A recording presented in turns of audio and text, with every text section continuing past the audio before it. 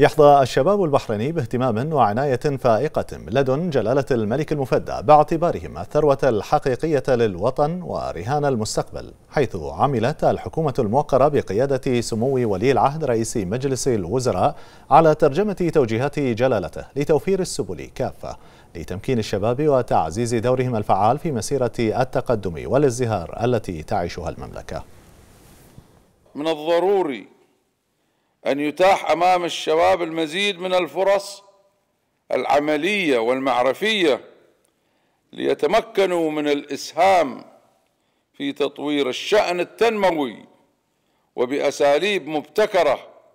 هم وقود الحياة وهم رهان المستقبل وهم من يحظون بعناية واهتمام وحرص لا محدود من لدن جلالة الملك المفدى أيده الله ورعاه.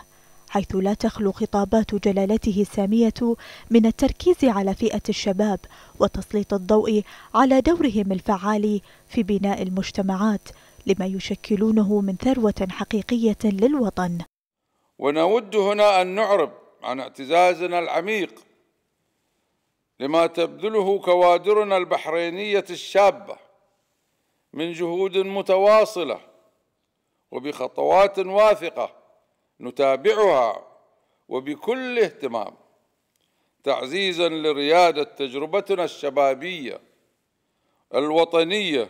هذا الاهتمام الكبير الذي يوليه ملهم ووالد الشباب عاهل البلاد المفدى نابع من إيمان جلالته العميق بقدرات الشباب وطاقاتهم على إحداث التغيير الإيجابي لبناء البحرين الحديثة والمضي بها قدما نحو الازدهار انطلاقا من رؤية جلالته الشمولية والمستقبلية لتمكين الشباب ومشاركتهم في تحقيق أهداف التنمية المستدامة.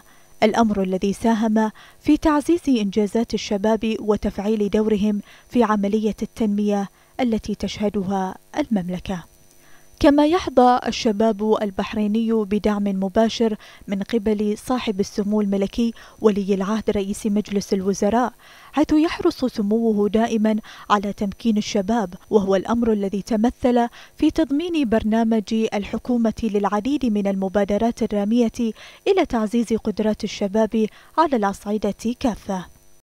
دائما ما يؤكد جلالته على أن الشباب البحريني مصدر ثرائنا ورهاننا المضمون وأن مسألة تمكين الشباب أولوية وطنية لتحفيز مشاركتهم الفعالة كقوة عمل وبناء. ونحن بدورنا ننقل رؤية جلالة الملك لتتخطى الواقع المحلي لتصل إلى جميع شباب العالم.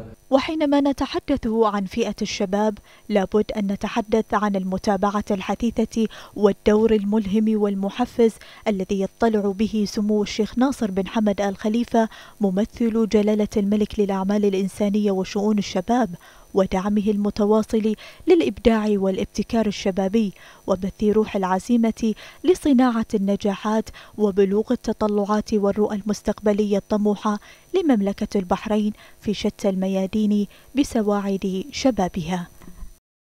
كما شكلت مبادرات سمو الشيخ خالد بن حمد الخليفة النائب الأول لرئيس المجلس الأعلى للشباب والرياضة نبراسا في تكريس الجهود لدعم وتمكين الشباب وخلق بيئة ملائمة للحضور البحريني في مختلف المشاركات والبطولات. جميع هذه المعطيات البناءة جعلت مملكة البحرين تمتلك نموذجا رياديا وتجربة فريدة من نوعها على المستوى الشبابي حيث قدمت خلال السنوات الماضية العديد من المبادرات التي رسمت الأمل واستنهضت همم الشباب وجعلتهم يحتلون مكانة قيادية في مختلف القطاعات رغم الظروف الاستثنائية. وبمناسبة اليوم الدولي للشباب يجدد الشباب البحريني التأكيد على أنهم مستمرون في استثمار طاقاتهم وتسخير إمكانياتهم للمساهمة في نهضة وتقدم المملكة ورفع راية البحرين على منصات الإنجاز والإبداع والابتكار.